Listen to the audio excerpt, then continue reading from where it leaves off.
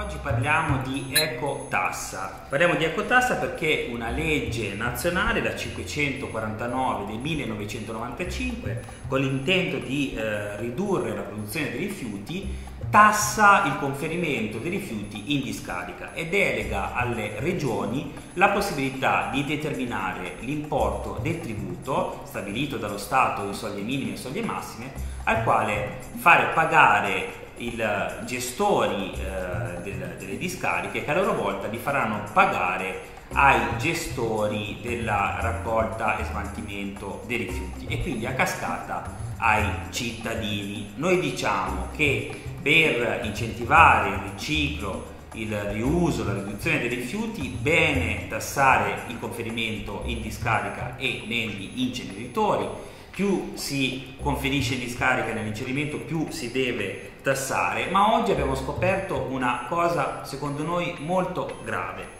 Innanzitutto l'articolo 3,29 della legge nazionale 549 del 1995 secondo noi non dà alle regioni la possibilità di identificare nuove categorie per l'attribuzione del tributo oltre a quanto previsto. Le categorie sono solo due, così dice la norma nazionale, sono una per i rifiuti inerti che vanno in discarica, quindi i rifiuti del settore edilizia, cave, e la seconda categoria, quella per i rifiuti non pericolosi e pericolosi. E individua come soglia massima quella per i rifiuti inerti circa 10 euro a tonnellata o ancora meglio dice di, di definire il tributo per chilogrammi di rifiuti quindi 0,01 per chilogrammi e dice di eh, individuare per 0,02582 il tributo